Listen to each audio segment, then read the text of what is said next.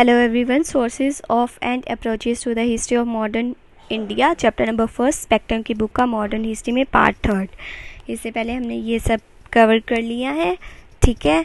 And आज हम major approaches to the modern Indian history के बारे में बात करेंगे. एंड उसके सब पार्ट्स जो पॉइंटर्स हैं वो मैंने यहाँ लिख दिए हैं ठीक है? तो ये टेलीग्राम चैनल पर आप जाके मैं इसकी ये जो स्लाइड्स है वो प्रोवाइड करवा दूँगी आप वहाँ से ले सकते हैं okay and one more thing I want to tell you that chapter first को प्लीज़ छोड़िएगा मत, ये भी काफ़ी ज़्यादा ही उतना ही इंपॉर्टेंट है। जैसे कि दूसरे स्पेक्ट्रम के चैप्टर्स हैं ओके सो स्टार्ट करते हैं। इससे पहले कॉलोनियल अप्रोच स्टार्ट करें। तो इससे पहले बता दूँ कि ये जो आर्चीव्स थे ये जो रिकॉर्ड्स हैं, ये ideas and explanation of the history के बारे में हमें बताती हैं। ये एक जनरे जनरेशन टू जनरेशन जैसे औरल एविडेंसेस भी होते हैं, वहाँ से भी हमें पता चल सकता है। पेंटिंग्स प्रिंटिंग्स इन सबसे भी हमें पता चल सकता है। और ये एक नरेशन ऑफ़ इवेंट्स ही नहीं है, और भी काफ़ी ज़्यादा जो है रिच हिस्ट्री के बारे में इंटेलेक्चुअलिटी के बारे में हमें ये सब बताते हैं। उसके बाद जो ये ब्रॉडली जो है हम इसको चार में कवर करते हैं, जैसे colonial nationalist Marxist and the subaltern ठीक है, और भी कुछ होती है, जैसे communalist Cambridge liberal non liberal and feminist interpretation ये सब हम कवर करेंगे। मतलब चार इंपॉर्टेंट वाली भी और अदर्स वाली भी। तो अभी हम स्टार्ट करते हैं कॉलोनियल अप्रोच जो कि हमारा फ़र्स्ट पॉइंट है। तो नाइनटीन सेंचुरी में जो है, ये काफ़ी कॉलोनियल अप्रोच जो है, वो काफ़ी ज़्यादा सामने आती है। और जो कॉलोनियल अप्रोच था, इसको टू सेंस में लिया जाता है। ठीक है? टू सेंस में इसको देखा जाता है। तो पहला जो है, वो रिलेट करता है history of the colonial countries and जो दूसरे वाला है, वो वर्क्स वैसे वर्क्स के साथ जो कि कॉलोनियल आइडियोलॉजी के डोमिनेशन के अंडर थे। तो पहला जो था, वो था हिस्ट्री ऑफ़ कॉलोनियल कंट्रीज़ ठीक है? और दूसरे वाला जो वर्क जो कि इन्फ्लुएंस था by the colonial ideology of the domination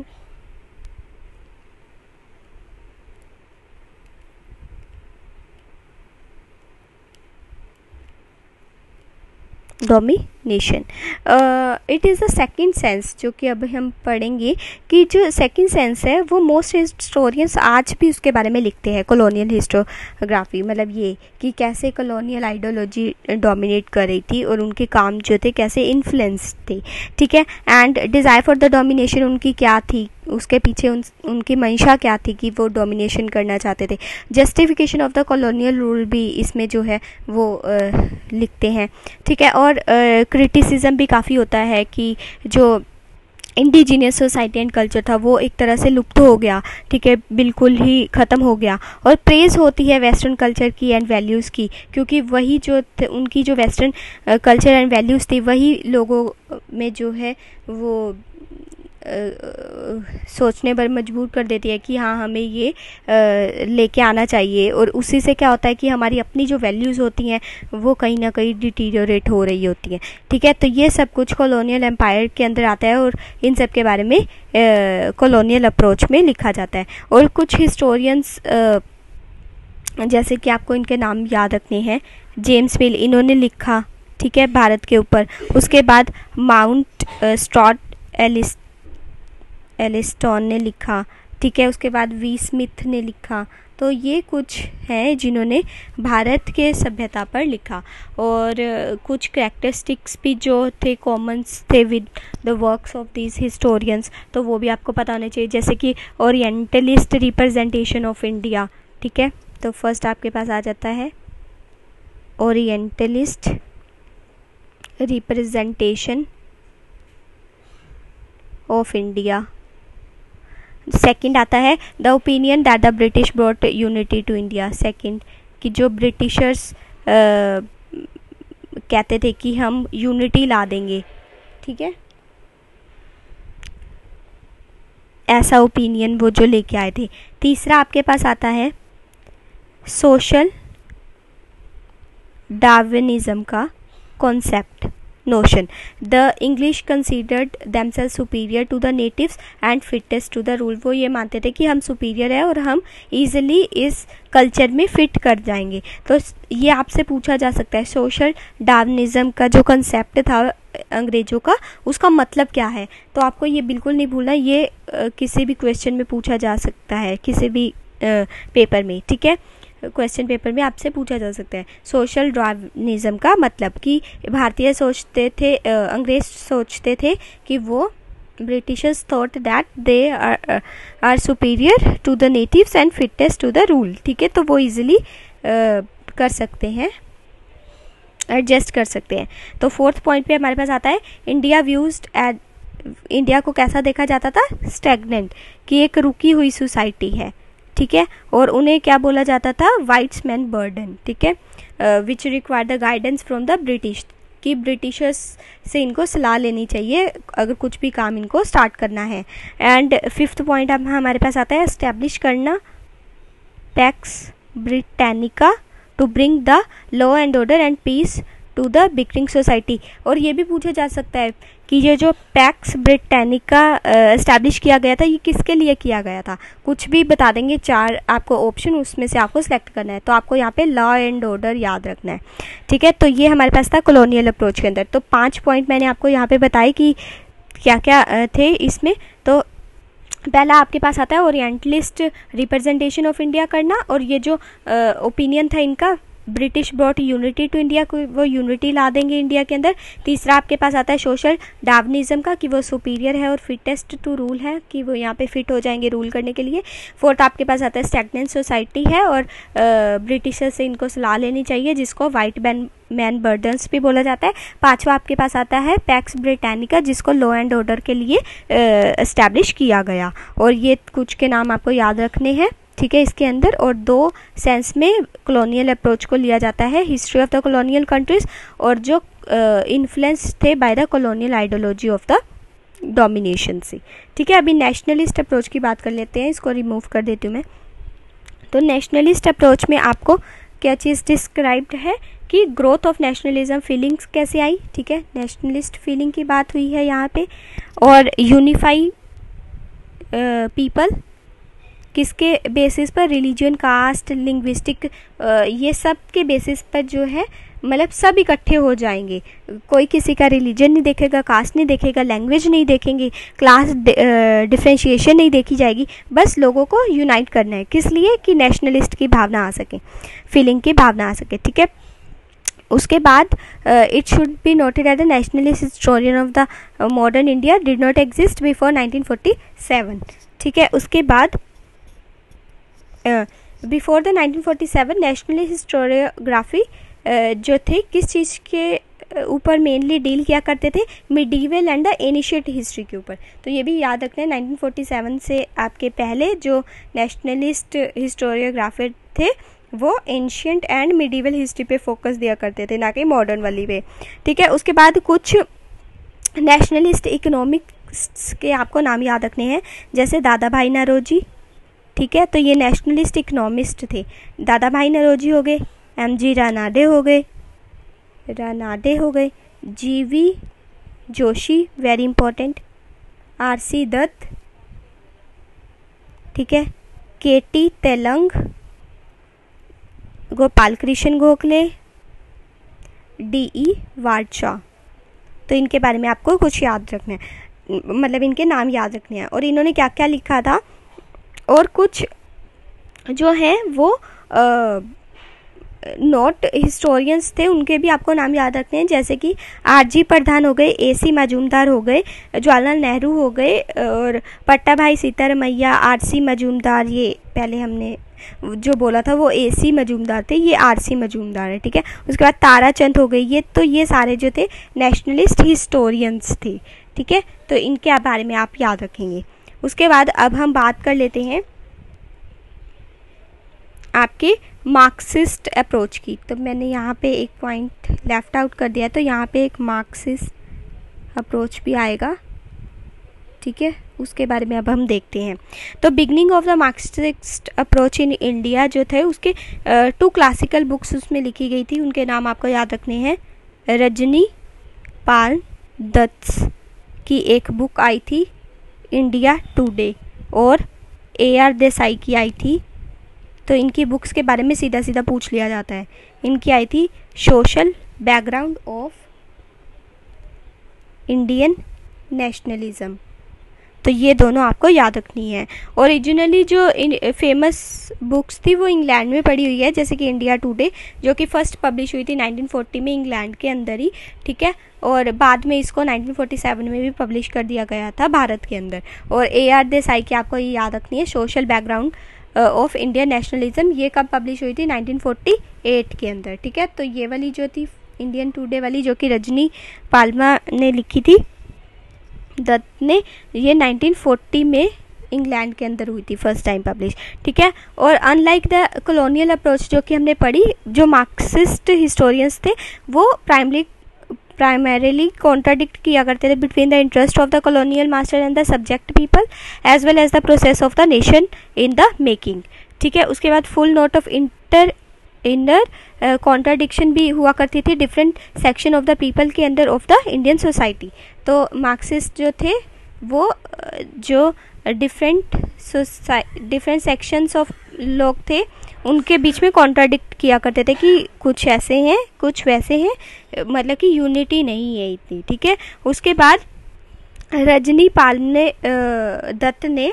uh, जो कि fully integrate their treatment of the primary anti-imperialist contradiction and secondary inner contradiction and tending to counterpose the anti-imperialist struggle to the class or the social struggle तो इन्होंने इसके बारे में लिखा mainly किसके बारे में लिखा इम्पीरियल जो कॉलोनीज बनी हुई थी उनके बारे में बात की इन्होंने और also they tend to see the national movement at the structure bourgeois movement and if not bourgeois movement miss it the open ended and all class character का वो होना चाहिए। कुछ और मार्क्सिस्ट अगर मार्क्सिस्ट की अगर आप के पास बात आती है तो इन दोनों को आपने बिल्कुल भी नहीं भूलना। A R Desai and the Rajani palms Dutt और इनकी जो बुक्स थी, उनके बारे में भी आपको नहीं भूलना है। और इन्होंने किस बारे में कॉन्ट्राडिक्ट्री नेचर के बारे में बात की different section of the people के बारे में, और एंटी इम्पीरियलिस्ट के बारे में बात की, और कुछ और के भी नाम आपको याद रखने हैं, जैसे कि आर पी दत्त के पैराडाइम को इन्होंने क्रिटिसाइज़ किया और Sumit Sarkar who consider the Dutt paradigm as the simplest version of the Marxist class approach ठीक है? और जो ए आर देसाई थे, उन्होंने ग्रोथ ऑफ़ नेशनलिस्ट मूवमेंट को फाइव फेजेस में डिफरेंट फेजेस में डिवाइड किया। ईच फ़ेज़ जो था, वो किसके ऊपर बेसिस था? सोशल क्लासेस के ऊपर, ठीक है? और अब हम बात कर लेते हैं सब ऑल्टर्न अप्रोच की, जो कि हमारी फोर्थ वाली है।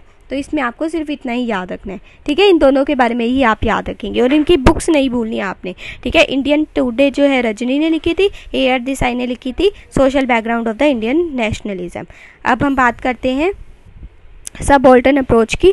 ये वाला जो स्कूल था, ये 1980s की स्टार्टिंग में ही स्टार्ट हो गया था और किसके अंदर वेरी इंपॉर्टेंट? रंजीत गुहा, ठीक है? और जो कि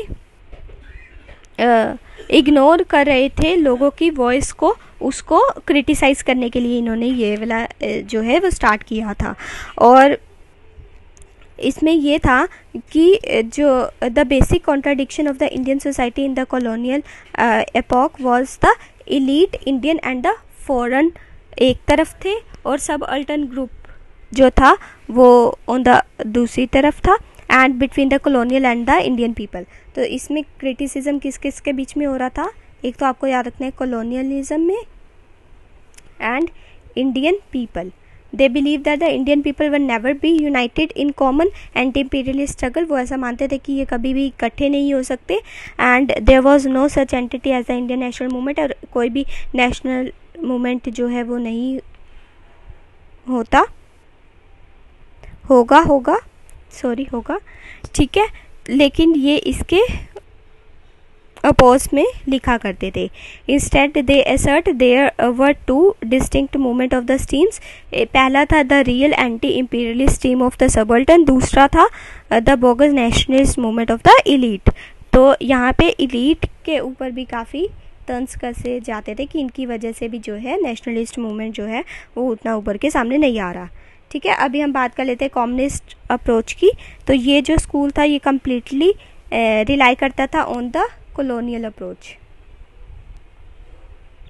ठीक है, और इसके अंदर ये मतलब टेक्स्ट बुक्स के अंदर ये भी बोला जाता है कि Hindu and Muslims as a permanent hostile groups रहे हैं ये एंड म्यूचुअली डिफरेंट थे एक दूसरे के, और विरोध करते रहते थे एक दूसरे का। तो कम्युनिस्ट अप्रोच में हिंदू मुस्लिम्स के ऊपर जो है, वो मतलब ये दिखाया कि ये यूनिट यूनिफाई नहीं थे यूनिफाइंग नहीं थे, ठीक है? This view was not only reflected the writings of the historian but also ये भी दिखाता है कि एक जहरीला व्यवहार था इनके अंदर, ठीक है? और इंडियन मेडिवल हिस्ट्री जो थी, वो लॉन्ग स्टोरी बताती है हिंदू मुस्लिम कन्फ्लिक्ट के बारे में, ऐसा भी कम्युनिस्ट अप्रोच में बोला गया है। लेकिन Muslim had the happy and the proud ever present memory of having been the ruling class और हिंदू की सैड एंड ह्यूमिलेटिंग मेमोरी है ऑफ़ द सब्जेक्ट रेस ऐसा बोला गया है कुछ हिस्टोरियंस uh, uh, के द्वारा. ठीक है कि मुस्लिम्स की तो हैप्पी एंड प्राउड वाली मेमोरीज थी और हिंदूज की सैड एंड ह्यूमिलेटिंग वाली मेमोरीज रही हैं. लेकिन ये सब कुछ किसके अंदर बोला गया है? कॉमन कॉम्युनलिस्ट अप्रोच के अंदर. ये बात आप याद रखेंगे जो कि कॉलोनियल अप्रोच के साथ मैच करता है। तो अंग्रेज़ तो यही चा, चाहते थे कि डिवाइड एंड रूल उन्होंने तो खुद ही डिवाइड एंड रूल की पॉलिसी अपनाई थी। ठीक है उन्होंने ये भी बताया कि जब पार्टी ये कम्युनिस्ट अप्रोच में ये भी बताया कि जब पार्टीशन हुआ तब भी कॉम्युनल राइट्स जो हैं वो हुए थे। ठीक है अब हम बात कर लेते हैं कैम्ब्रिज स्कूल की।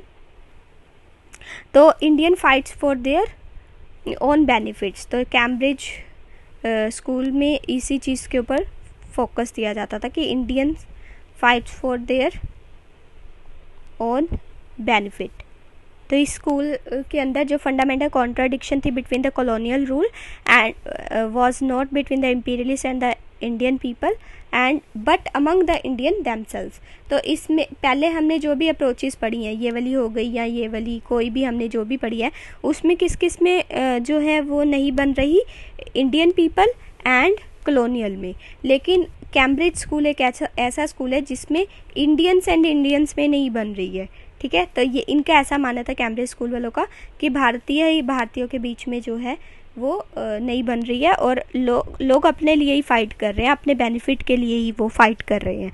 वो ब्रिटिशर्स के साथ फाइट नहीं कर रहे हैं। ठीक है? एक बारी पढ़ के सुना देती हूँ। Indian nationalism was not the product of struggle of the Indian people against the colonial exploitation but what arose from the conflict among the Indians for getting the benefits given to them by the British ruler, जो British ruler उनको benefit provide करवा रहे थे, वो तो सबको करवा रहे थे, लेकिन एक भारतीय ही दूसरे भारतीय से लड़ रहा था उन बेनिफिट्स को लेने के लिए। ठीक है, ऐसा कौन बोलता था? कैम्ब्रिज स्कूल वाले। ठीक है, अब हम बात कर लेते हैं liberal and the non liberal interpretation की। तो इसमें जो मेन बात होती है, वो आपकी इकोनॉमिक एक्सप्लोटेशन की बात होती है। अगर आपसे पूछ लिया जाए कि इस स्कूल में किसकी बात होती है तो आपको पता होना चाहिए इकोनॉमिक एक्सप्लोटेशन की बात होती है, जो कि ब्रिटिशर्स किया करते थे, भारतीयों का जो भी है, उनकी छोटी छोटी फैक्ट्रीज भी इन्होंने बंद करवा दी, ठीक है? और दादा भाई नरोजी ने भी काफ़ी ज़्यादा इसके ऊपर बोला जो कि ये वेल्थ भारत की वेल्थ जो है, बाहर लेके जा रहे थे उसके ऊपर। एंड डिले की development of the new industries Bharat में भी ये न्यू इंडस्ट्रीज़ नहीं खोलते थे और भारत की जो पुरानी फैक्ट्रीज़ वगैरह थी, वो भी इन्होंने बंद करवा दी थी। और बस अपना कैपिटल इन्वेस्टमेंट किया करते थे, जैसे रेलवेज़ वगैरह में, वो भी अपने भले के लिए ही, कि कैसे हम जो है, वो रूरल एरियाज़ को जो है, वो कोस्टल एरियाज़ के साथ जोड़ सके और हमारा ट्रेड जो है, वो ईजिली चलता रहे। ठीक है? लिबरल नॉन लिबरल इंटरप्रिटेशन में इकोनॉमिक एक्सप्लोटेशन की बात होती है। ठीक है? उसके बाद इसके कुछ, इस स्कूल के कुछ लोग भी हैं जो कि इससे रिलेटेड जैसे कि पैट्रिक ओब्रेन और हो गए, आपके होपकिंस हो गए और कैन हो गए। ठीक है, अभी हम लास्ट पे आ गए हैं फेमिनिस्ट हिस्टोरियोग्राफी पे तो ये देख लेते हैं इसमें क्या है। तो इसमें जो है वो वुमेंस ने भी राइटिंग्स जो है वो स्टार्ट कर दी वुमेंस मूवमेंट भी जो है वो स्टार्ट हो गया नाइनटीन सेवेंटीज़ की ये बात चल रही है। Emergence of the women study in India जो है, उसको इम्पीटस मतलब उसको उसकी प्रेरणा मिलती है, उसको और काफ़ी एम्फोसाइज भी दिया जाता है इस बात के ऊपर कि वुमेंस को भी आ, पढ़ना लिखना चाहिए। ठीक है तो वुमेंस हिस्ट्री जो है वो ब्रॉडन करती है जेंडर हिस्ट्री के ऊपर बेस्ड है वो। ठीक है और आ, कैसे इनकी राइटिंग्स को वुमेंस की राइटिंग्स को जो है वो मेन स्ट्रीम हिस्ट्री के साथ जोड़ा जाए तो ये भी बातें होती है। और कैसे जो भारतीय वुमेंस भी अगर आ, लिखती हैं तो कैसे हमारा देश जो है वो और उभर के सामने आ सकता है। इसीलिए काफ़ी सारे वुमेंस भी सामने आई जिन्होंने अपनी राइटिंग्स को जो है वो प्रेजेंट किया और जो है वुमेंस वनरेबिलिटी भी बहुत होती है कि कैसे उनकी जो है वो राइटिंग्स को इतना मेन स्ट्रीम में लाया जाएगा। तो ये सभी प्रोग्रेसिव लॉज के हवाले से ही संभव हो पाया है। कि अब फेमिनिस्ट हिस्टोरियोग्राफी भी काफ़ी सामने आई है। तो ये चैप्टर था हमारा फ़र्स्ट तो यहाँ पे ये फ़र्स्ट चैप्टर जो है, ख़त्म हो जाता है। तो जो major approaches to study of Indian history में हमने कौन कौन सी देखी? Colonial approach nationalist approach Marxist approach हमने यहाँ पे पढ़ी थी। ठीक है? उसके बाद communist approach subaltern approach Cambridge liberal and non liberal जिसमें हमने इकोनॉमिक एक्सप्लोटेशन की बात की थी फैमिलिस्ट वाले में वुमेंस आ जाती हैं, ठीक है? तो ये सब हमने फ़र्स्ट चैप्टर में कवर कर लिया है। अभी हम नेक्स्ट चैप्टर पढ़ेंगे नेक्स्ट वीडियो में। Thank you